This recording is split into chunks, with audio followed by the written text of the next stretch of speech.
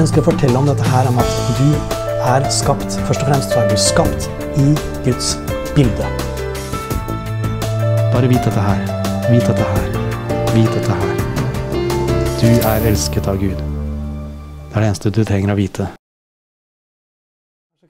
Kanskje spesielt det jeg har på hjertet, det er å være med på å hjelpe mennesker eh, som, eh, som, som sliter i livet sitt. Som har det vanskelig på mange måter. Og, og det, det ligger, meg, ligger, meg, på hjertet. Og jeg, jeg tror at det, de fleste av oss uh, i løpet av livet uh, kanskje har, opplever det. Og jeg, jeg, tror vi alle har, har, opplevd sår, og jeg, tror vi alle har opplevd avvisning og, og, og, ting gjennom livet. Jeg tror ikke, tror ikke livet har vært snill med, med, med, noen av oss, egentlig. kanskje, vi har kanskje klart å takle det bedre enn andre. Noen har kanskje ikke opplevd så mye som andre. Og, og det er bra, og da kan du være med på å hjelpe de som kanskje har opplever det tøft. Uh, og, og, og, og, noe av det, det, som jeg ønsker å, å formidle, det er nettopp, nettopp, dette her at det er virkelig gode nyheter. Jeg har kalt det for gode nyheter for de sønderbrutte hjerter, eller gode nyheter for de som strever. Og overskriften for, det, for, i dag også er dette her med å, å finne hvile. Finne, kom inn til han, hans hvile. Gud ønsker at du skal hvile. Han ønsker ikke at ditt liv skal være strevsomt. Eh, dette med identitet, hvem vi er, hvordan Gud ser på oss osv. Og, så og hvordan vi strever i livet vårt osv. Fordi jeg levde i mange år. Eh, jeg levde i mange år, og jeg sleit, jeg sleit faktisk med avvisning ganske mye egentlig i livet mitt. Opp gjennom livet, opp gjennom tenårene eh, så sleit jeg en del med avvisning. Og for så vidt opp i 20-årene også. Og, og, jeg opplevde en del ja, avvisning på, på, forskjellige områder, egentlig. Både i jobb, jobbsammenheng, husker jeg. Eh, og det var ganske tøft. Og jeg var, jeg mobba på, sko, på videregående, så ble jeg mobba en del. Eh, og jeg hadde problemer med det motsatte kjønn.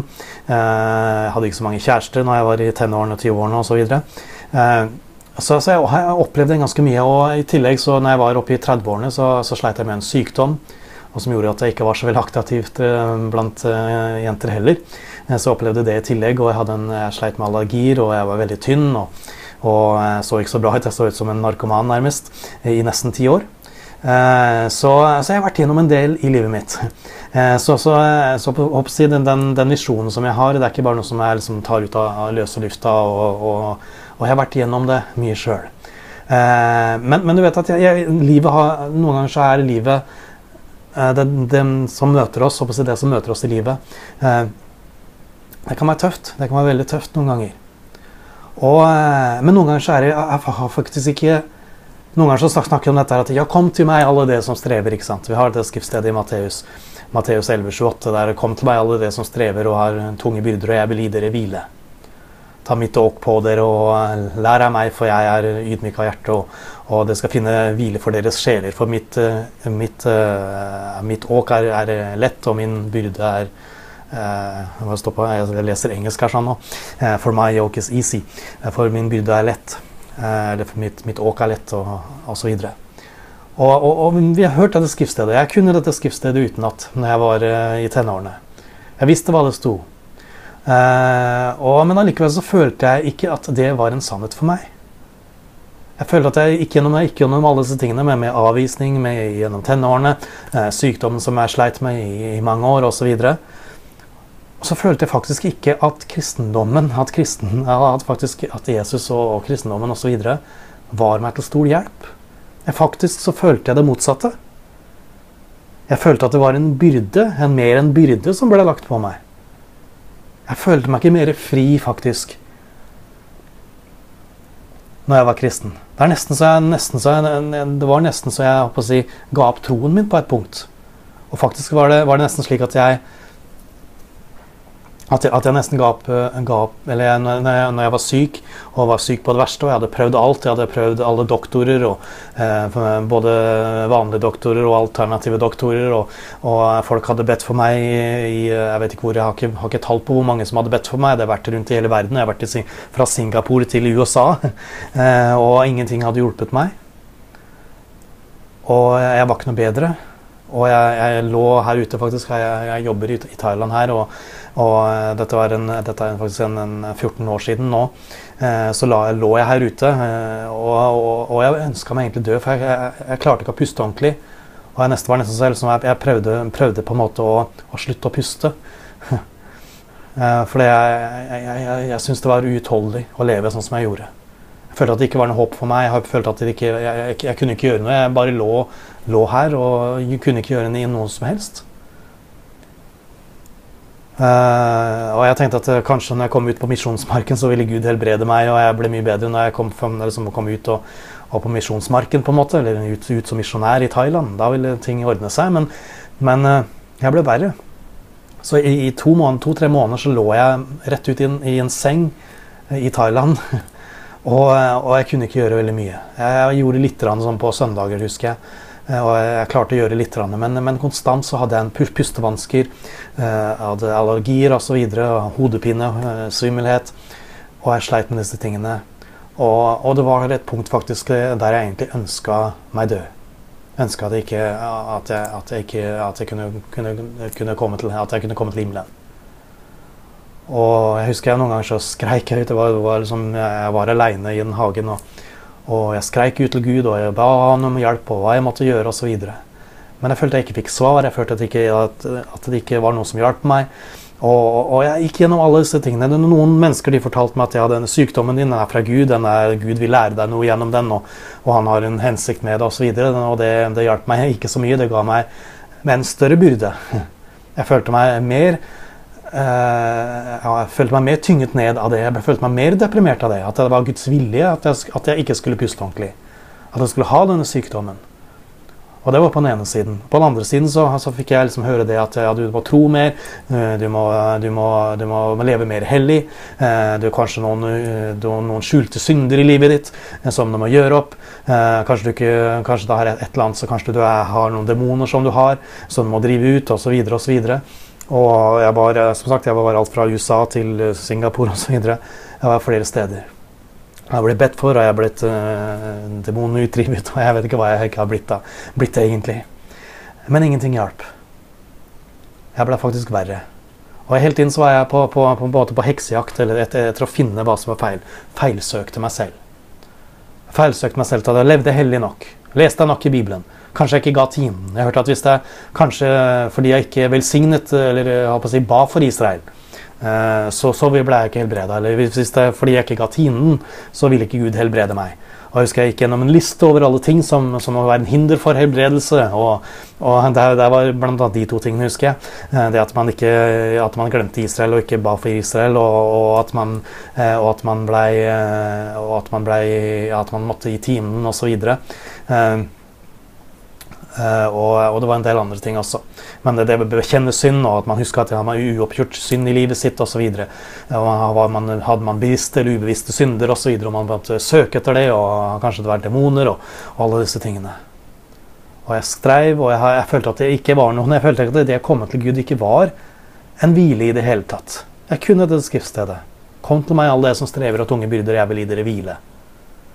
Jeg følte, at, jeg følte at det var motsatt. Jeg følte at det kom til meg, og jeg vil gi dere mer byrde å bære. Og du vet at Jeg så ikke dette her, men jeg hadde faktisk lagt meg under det som vi kaller for loven. Loven fortalte meg at det ikke var bra nok. Det var ikke Gud som fortalte meg at det ikke var bra nok. Det var loven som fortalte meg det. Og, og, og for, for, mange mange år, i mange mange år, Det som jeg kanskje sleit mest med, var at jeg ikke klarte å akseptere meg sjøl. Som sagt, jeg hadde vært gjennom en del avvisning i livet mitt. Uh, og, og jeg, jeg, så på meg sjøl, og jeg, jeg, så på mine handlinger osv. Og, så og jeg, at det, jeg tenkte at uh, det Det er grunnen til at uh, at jeg ikke blir helbreda, eller at ikke Gud vil høre mine bønner osv. Fordi jeg ikke på en måte jeg var ikke bra nok, på en måte. Det var noe feil med meg. Jeg feilsøkte meg sjøl, og, og, og, når jeg feilsøkte meg sjøl, så fant jeg alltid feil. Hvis du, finner, hvis, du, hvis du, feilsøker med hverandre eller feilsøker seg sjøl, så vil du alltid finne feil. Du vet at Vi har programvarer. ikke sant? Jeg har, har, en, jeg har en, iPad her sånn, og, og, jeg bruker for så vidt Mac for tiden.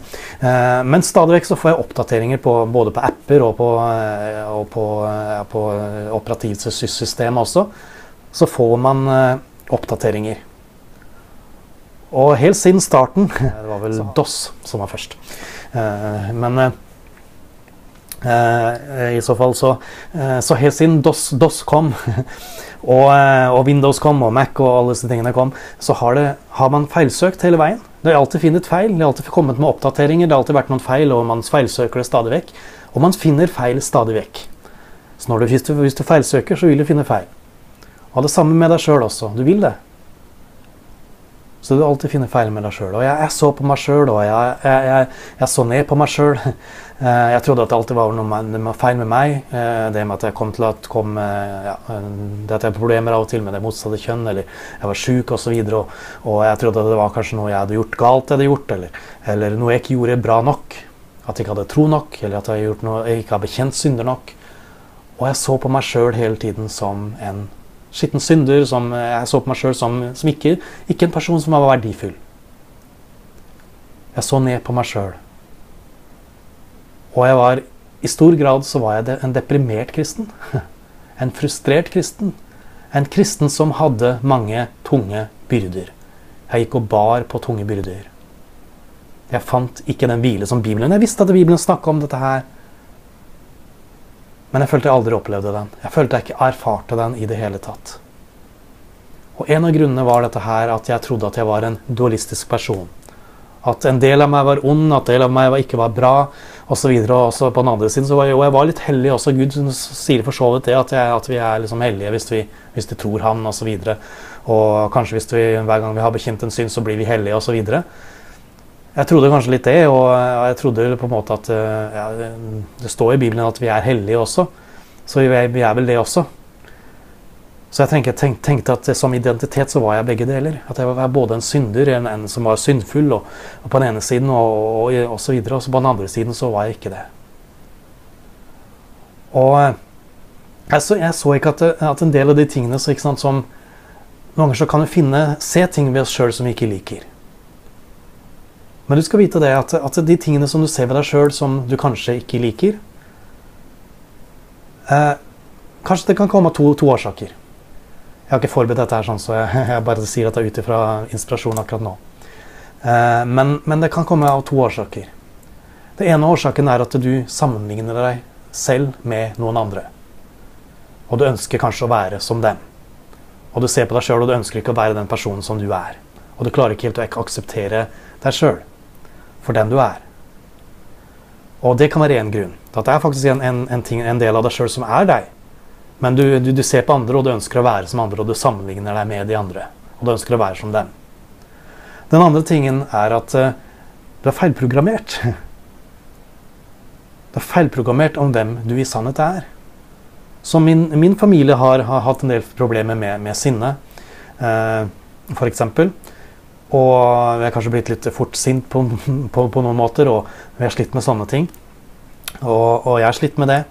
Og, og den siden av meg sjøl nå sier jeg faktisk en ting som jeg ikke burde si. Eh, fordi jeg sier at det er en side ved meg sjøl. Og jeg trodde at det var en side ved meg sjøl. Jeg trodde det var en del av meg. Jeg trodde den sinnen var noe som jeg måtte leve med fordi det var en del av meg. Og jeg trodde på at det var en del av min personlighet. At de var en del av meg. Den sinnen var en, var en del av meg. Men det jeg faktisk har sett i de, i de senere årene, det er dette at det er faktisk en programmering som, har, altså, som, på mange måter har, har, programmert min personlighet. Men det er faktisk mulig å bli fri det. Det er faktisk mulig å bli fri fra det. Den sinnen som, som, som jeg sleit med. Og jeg har også sett dette her. Og jeg har sett dette i andre mennesker. Jeg har sett det i min kone også. Kone sliter litt med det samme. Og jeg har sett dette at sinne, og, og, at man blir fort sint på en ting, og, og man blir sint osv., det kan ofte komme av at eh, av frykt, rett og slett. Det kommer av frykt. Og det har jeg sett igjen og igjen. at Ofte, ofte når, jeg, når, jeg, tenker tilbake Hvorfor, hvorfor ble jeg sint i den situasjonen? Og Når jeg tenker tilbake, så var det pga. en frykt som jeg hadde.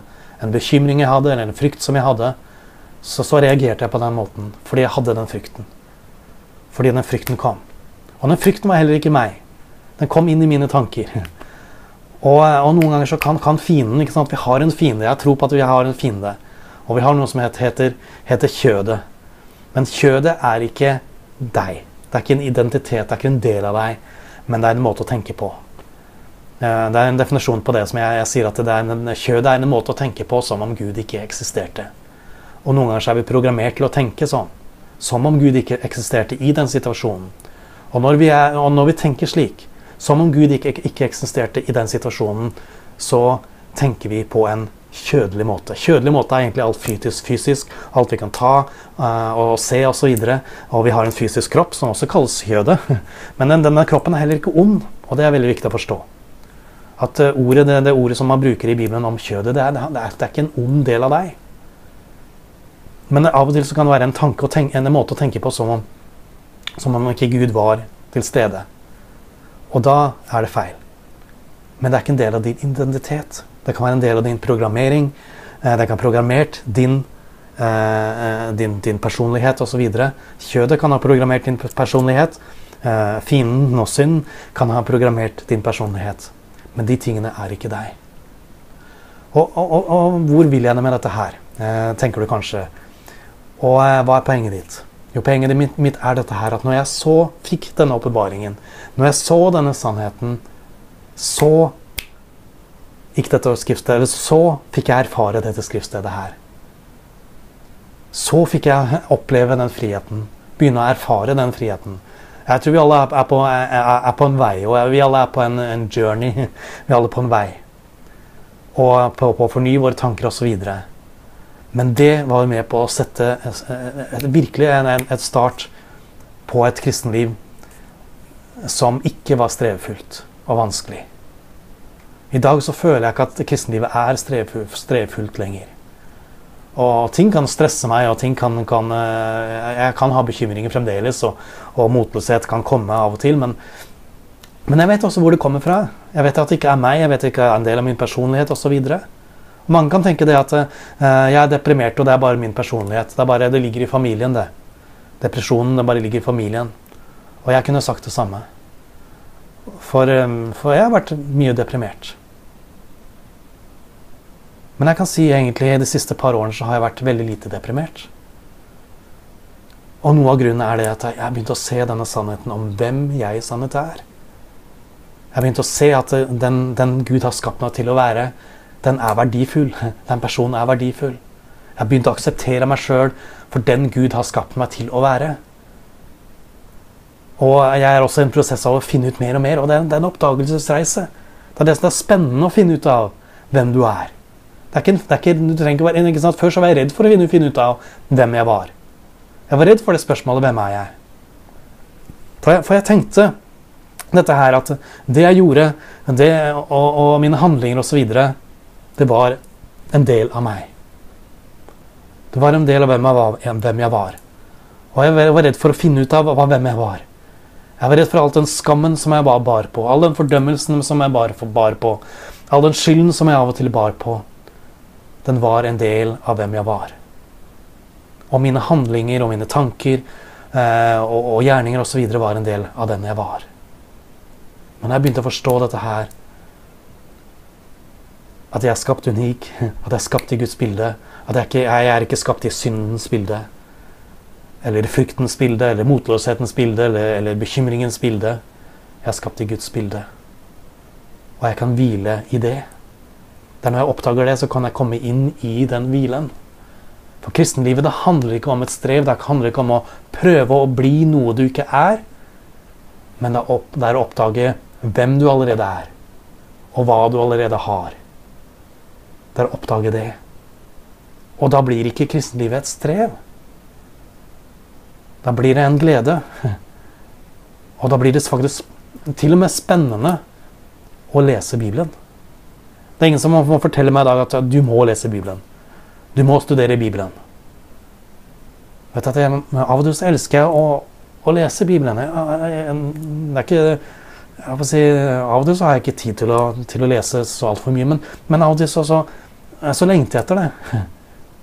Eller av og til når jeg ikke har lest i Bibelen, så ønsker jeg å gjøre det. fordi det er med på å fornye mine tanker om hvem jeg er, og hvem Gud er. Det er med på å hjelpe meg. Og jeg, når, jeg, når, jeg, begynte å se Bibelen på en ny måte, når jeg ikke leste Bibelen eh, med fordømmelse, så, så blei Bibelen spennende for meg. Og i dag så, eh, så, eh, så, Så, du vet at jeg, jeg, Først så, så, telte jeg opp timer og antall timer som jeg ba osv. Og, så og hvor mange timer jeg har bedt, eller hvor, mange, hvor lang tid jeg har brukt på Gud osv. i dag. I dag tenker jeg ikke over det lenger. For mitt liv er sammen med Gud. Jeg bruker tid med Gud hele tiden. Ja, han er med meg overalt. Det har blitt en, en, en, jeg mener Når jeg, når jeg sender barna på skolen, eller når jeg, når jeg gjør et eller annet, så, så, så, så har jeg av og til samtaler med Gud i tankene mine, og, og jeg prater med ham også. Om bekymringer jeg har også. Jeg er ikke det at jeg er fri fra å få bekymringer nå. Jeg har mer enn det. Jeg har mer enn nå kanskje enn jeg hadde før. Jeg har, har barn og to barn. og uh, ene minste barnet hun måtte på klinikken i dag, osv. Og, så og uh, og jeg har en kone, og, og vi, har, eh, vi, bor i, vi, bor i, Thailand. Min kone er fra Myanmar.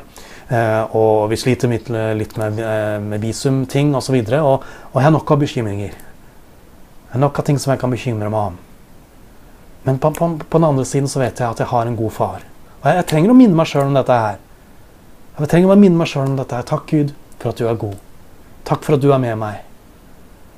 Takk for at du er min gode far som har dette også under kontroll. Vi må fornye visumet til min kone om etter en og en halv måned, og vi har ikke funnet et ordentlig svar på det, og, det er så, også, også, ganske dyrt, egentlig. Og, og, og ja, så, så, så, vi har en del bekymringer. Men jeg, jeg, vet dette her. Jeg har sett Gud, Gud igjen og igjen forsørge for oss. Jeg har sett Gud igjen og igjen eh, gi oss det vi trenger. Både når det kommer til økonomiske midler, men, men også når det kommer til visum og sånne ting også. Og, og gi oss det vi trenger. Og, og, jeg vet at han er til å stole på. Og Jesus sa dette her. Ønsker å avslutte med det. Og det, det vil hjelpe deg til å, til å, komme inn i hans hvile. At du kan hvile.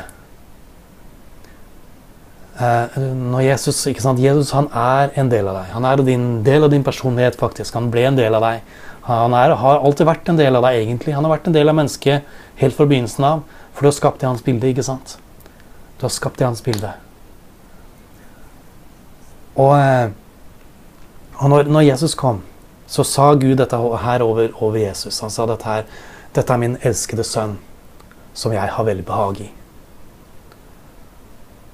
Og, eh, og, og, det var en dag jeg oppdaga dette her, og det, det, var noe, jeg tror, jeg tror det er noe av den det er den største åpenbaringen jeg hadde, og som egentlig som satte meg, helbreda meg også. I dag ikke sant? Jeg, i dag så har jeg litt for mye her. og, og jeg, har ikke noen, jeg sliter ikke med allergier i dag. Og noe av det, det, det var når jeg begynte å forstå dette her. Hva Jesus, hvordan Gud, Gud ser på meg. Og, og, jeg skal bare si det til deg til slutt, slutt i dag også. At det Gud sier om deg, der at det, du er min elskede sønn, du er min elskede datter, som jeg har vel behag i. Jeg har velbehag i deg. Jeg elsker deg. Ikke, på, ikke for, på grunn av alt det du gjør og osv. Han vet at det er en programmering. Han vet, vet at, uh, hva som ikke er deg, og hva som er deg. Gud vet det, for han har skapt deg. Han vet hva som er programmeringen fra kjødet, fra djevelen osv., fra synd osv. Han vet det. Men han elsker deg fordi han har skapt deg, og han har, har, har behag i deg fordi du er hans sønn, du er hans datter. Så, men det er det jeg ønska å, dele med deg i dag. Og eh, hvis du ønsker også, så, få med deg også Jeg har en engelsk undervisning-side eh, som heter eh, Good News eh, for Broken Hearts. Hearts.com. Så se gjerne på den siden også. Og også helt til slutt, hvis du skulle ønske å, å, støtte meg og støtte oss som familie Vi jobber her ute i Thailand, og vi er faktisk avhengig av av økonomisk, økonomisk, støtte. Som nevnt så eh, vi med, med, å få til et visum osv., og, så videre, og det koster en, en del penger. Og, eh, og, hvis du ønsker å, være med på å støtte oss i dette her, og støtte oss også med, med det vi gjør her ute i, i Nord-Thailand vi, vi, er en familie som vi drar ut på rismarkene stort sett uh, hver kveld. I dag morges så, så, var vi på en rismark også og underviser litt engelsk og vi underviser Bibelen osv. Og, og, eh, og, vi bruker våre egne midler til å, til å, gjøre det eh, for tiden. Så, eh, så hvis, du gjerne, ja, hvis, du skulle ønske å støtte oss, så, så føler jeg fri til å gjøre det. Og Da kan du enten gå inn på, på bibelundervisning.com og finne kontonummeret mitt der, eller du kan bruke, eh, kan bruke PayPal også. Eller du kan bruke VIPS på 99354. VIPS på 990 354. Så, så gjør gjerne det. 990 354. Du kan gjerne vippse meg penger inn på, på, på Jeg bruker VIPS. Så gjør gjerne det.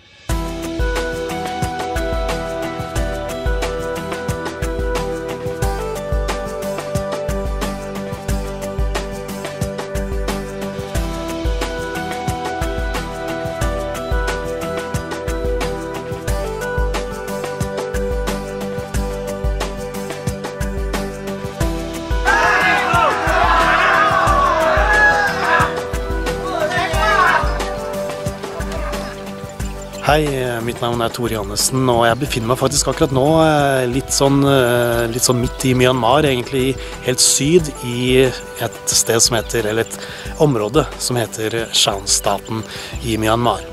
Og jeg jobber blant et folkeslag som heter shan-folket. Og jeg ønsker å nå ut til dem, både å hjelpe dem eh, når det kommer til eh, ja, Det er mange av dem som har opplevd et sønderknust liv, et, et, et, et vanskelig liv osv. Og, så og det er mange som aldri har hørt om de gode nyhetene, om, om Guds kjærlighet osv. Og, så og det finnes veldig mange eh, brutte familier, brutte, mennesker eh, iblant dem. Og det er mange som har opplevd et, et knust liv. Og alkohol også er et, et veldig stort problem blant eh, dette folkeslaget.